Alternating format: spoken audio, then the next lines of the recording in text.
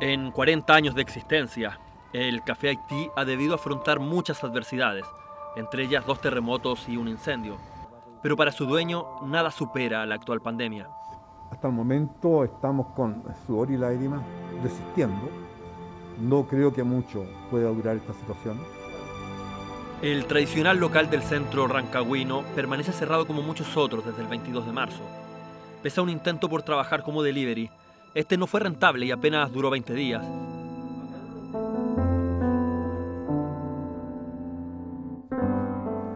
El bajón es otro ejemplo de lo duro que ha golpeado la crisis sanitaria.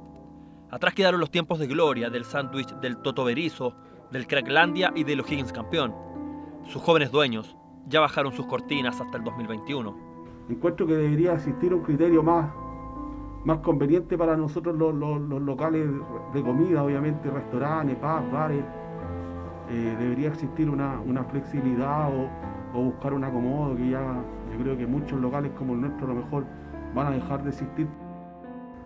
Locales como el Tomacho o La Bomba ya han cerrado definitivamente.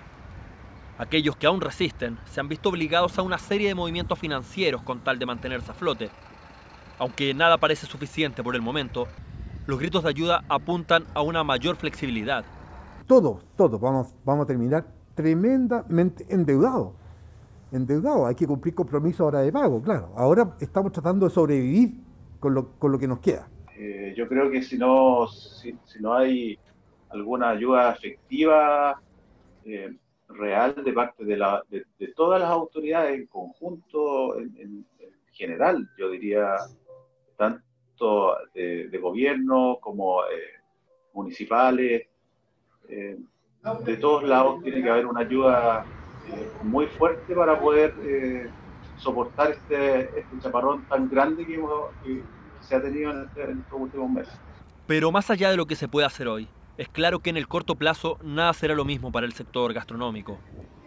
Yo creo que después de muchos años tal vez podamos tener nuevamente algunos, algunos locales emblemáticos de Rancagua eh, de pie nuevamente. Para la mayoría de los locales de comida, hoy las esperanzas están puestas en el paso de la ciudad a fase 3, lo que permitiría atender al menos desde las terrazas. Estamos en, eh, reparando todo lo que es eh, la sección de cocina, de lo que significa la contaminación cruzada, de adaptarse a los nuevos protocolos. Todo dependerá del futuro de la pandemia, la cual, de no ser contenida pronto, hará que estas imágenes se sigan repitiendo entre los locales tradicionales de Rancagua.